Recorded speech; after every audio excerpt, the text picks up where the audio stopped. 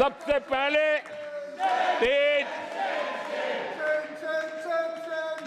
5G role out हमने दिखाया। आज देश कहने लगा, तीव्र गति से 5G का रोल आउट होना। देश गौरव से कहने लगा, भारत कुछ भी कर सकता है। आदरणीय सभापति जी, वो एक जमाना था जब कोयले घोटाले में बड़ों बड़ों के हाथ काले हो चुके थे। आज कोयले का सर्वाधिक उत्पाद, सर्वाधिक प्रोडक्शन आज कोल प्रोडक्शन के विक्रम हुए हैं। और इसी के कारण देश अब कहने लगा है, अब भारत कुछ भी कर सकता है। आदरणीय सभापति जी, वो एक समय था 2014 के पहले, जब फ़ोन बैंकिंग फ़ोन बैंकिंग करके बड़े बड़े बैंक घोटाले किए जा रहे थे। अपनी पर्सनल प्रॉपर्टी की तरह बैंक का खजाना लूट लिया गया था। आदरणीय सभापति जी 2014 के बाद नीतियों में परिवर्तन, निर्णयों में गति, निष्ठा, प्रामाणिकता की, और उसी का परिणाम है, दुनिया की अच्छी बैंकों में आज भारत की बैंकों का स्थान बन गया। आज भारत की बैंक सर्वाधिक मुनाफा करने वाली बैंक बन गई। और लोगों की सेवा करने के लिए आदरणीय सभापति जी 2014 के पहले वो भी एक वक्त था कि जब आतंकी आकर के जी चाहे वहाँ, जब चाहे वहाँ हमला कर सकते थे। 2014 के बाद स्थिति ये बनी कि जब वहाँ उस समय 14 के पहले निर्दोष लोग मारे जाते थे। हिंदुस्तान के कोने कोने को टारगेट किया जाता था। और सरकारें चुपचाप बैठी रहती थी। मुँह तक खोलने को तैयार नहीं थी। आज 2014 के बाद का हिंदुस्तान घर में घुसकर मारता है। सर्जिकल स्ट्राइक करता है। एयर स्ट्राइक करता है।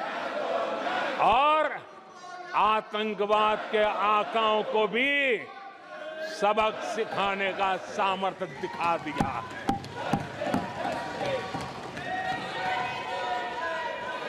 आज आदरणीय सभापति जी, देश का एक एक नागरिक जानता है। कि अपनी सुरक्षा के लिए भारत कुछ भी कर सकता है। आदरणीय सभापति जी, आर्टिकल 370 इसकी पूजा करने के वाले लोगों ने वोट बैंक की राजनीति का हथियार बनाने वालों ने 370 को उसने जम्मू कश्मीर का जो हालात कर दिए थे, वहाँ के लोगों के अधिकार छीन लिए थे। भारत का संविधान जम्मू की, कश्मीर की सीमा में प्रवेश नहीं कर सकता था। और यहाँ संविधान सर पे रख करके नाचने वाले लोग संविधान को जम्मू कश्मीर में लागू करने का हौसला नहीं रखते। बाबा साहब अंबेडकर का अपमान किया करते और 370 का वो जमाना था, सेनाओं पर पत्थर चलते थे। और लोग निराशा में डूब करके कहते थे, अब तो जम्मू कश्मीर में कोई हो नहीं सकता है आज आर्टिकल 370 की दीवार गिरी। पत्थरबाजी बंद है। लोकतंत्र मज़बूत है।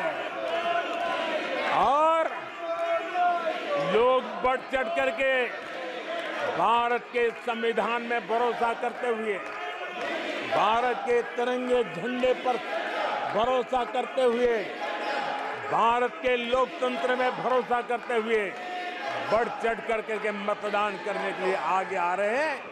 ये साफ़ साफ़ दिखाई देता है। आदरणीय सभापति जी 140 करोड़ देशवासियों में ये विश्वास पैदा होना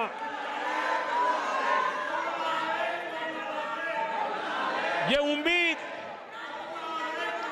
और जब विश्वास जगता है तो विकास का वो ड्राइविंग फोर्स बन जाता है। इस विश्वास ने विकास का ड्राइविंग फोर्स का काम किया है। आदरणीय सभापति जी, ये विश्वास विकसित भारत संकल्प से सिद्धि का विश्वास है। आदरणीय सभापति जी।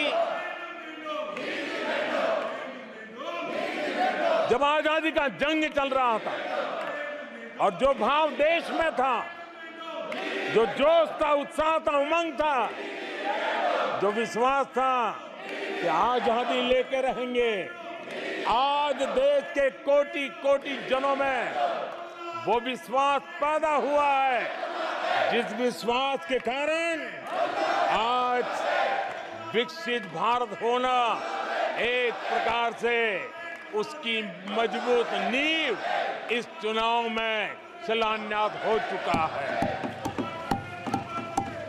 जो ललक आज़ादी के आंदोलन में थी, वही ललक विकसित भारत के इस सपने को साकार करने में है।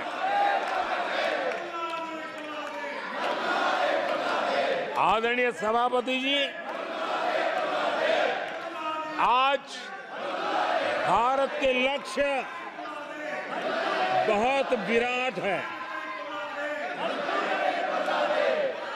और आज भारत को एक ऐसी स्थिति पर 10 साल में पहुँचा है कि हमें खुद से ही स्पर्धा करनी है। हमें ही अपने पुराने रिकॉर्ड तोड़ने हैं। और नेक्स्ट लेवल पर हमें हमारी विकास की यात्रा को ले जाना है। दस वर्षों में भारत विकास की जिस ऊंचाई पर पहुँचा है, वो हमारी प्रतिस्पर्धा का एक मार्ग बन चुका है, एक बेंचमार्क बन चुका है। पिछले दस साल में हमने जो स्पीड पकड़ी है, अब हमारा मुकाला अब हमारा मुकाबला उसी स्पीड को और ज़्यादा स्पीड में ले जाने का है। और मेरा विश्वास है, देश की इच्छा को हम उसी गति से पूरा करेंगे। आदरणीय सभापति जी, हम हर सफलता को, हर सेक्टर को नेक्स्ट लेवल तक ले जाएँगे। आदरणीय सभापति जी दस सालों में भारत की इकोनॉमी को 10 साल के अल्पकाल में हम 10 नंबर से इकोनॉमी को पाँच नंबर पे ले गए हैं। अब हम नेक्स्ट लेवल पर जाने के लिए जिस गति से निकले हैं, अब हम देश की इकोनॉमी को नंबर तीन पर ले जाएँगे। आदरणीय सभापति जी दस सालों में हमने भारत को